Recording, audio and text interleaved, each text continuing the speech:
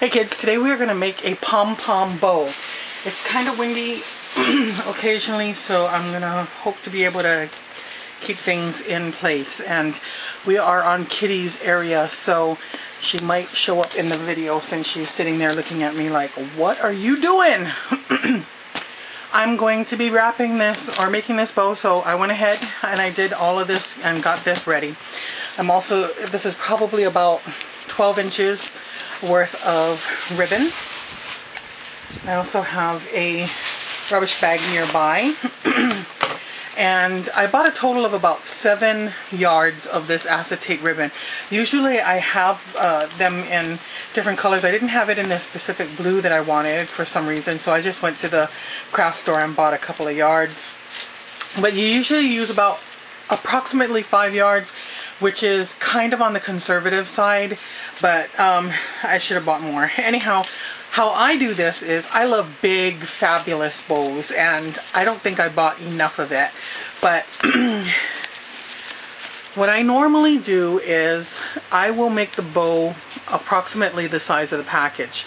So I measure across that way and cut, use that as the top, bring it down, and bring it in to make one really large circle. Let me move the package out of the side.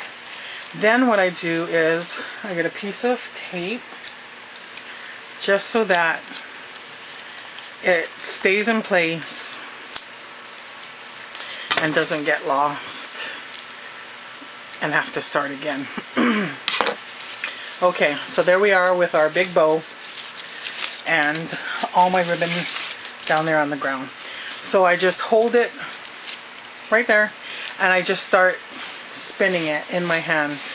And we're going to continue until all five yards of the bow, I mean of the, the ribbon, is all caught up. And now Kitty, ha Kitty has decided that chasing the ribbon on the ground is a fun thing to do. You want to come up here, B? Alrighty, so now there we go. And I ended up right there just shy of coming, you know, full circle. So what I'll do is I will do this.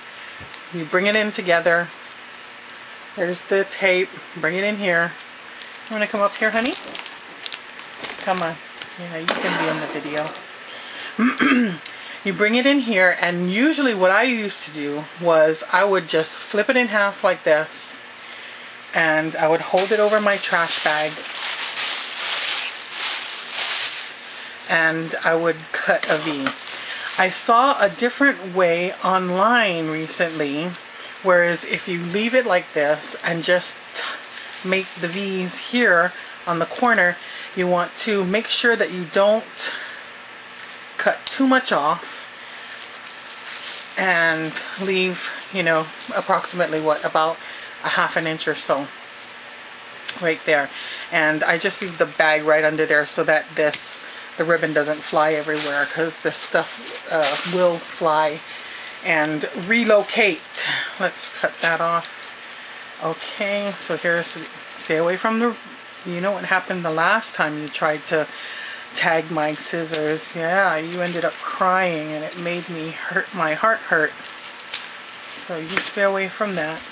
Okay, so now you have both ends cut there and there and bring them together right here in the middle. Okay. There's another piece that we can cut. I always cut, oh, you like to tag it.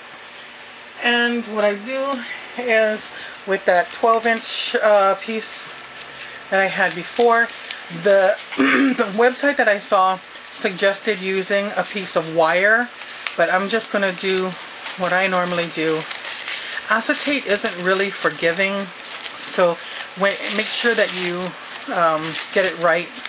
Of course now everything is going crazily but uh, right there. See what I mean by it's not forgiving? It it, it shows where it's been crinkled. Let me get rid of this because it throws the white balance off. Okay so now this is what we are left with right here Babe? And I go in from the inside and I pull and I twist up. Then you go from the opposite side, while I lick my finger, twist, pull up. And you continue going from the op, you know, different sides each time. Twist and pull up. This one probably could have used at least eight or nine yards just for the bow itself to make it as big and full as I like to make it. So now I'm regretting that I only got seven yards. Okay, and then the last one you just kind of twist. Then this side has has pulled, you know, buckled loose just from the pulling. But you go ahead and you do it again from this side. You like playing with it? You like playing with that ribbon? Hmm? Pull it up.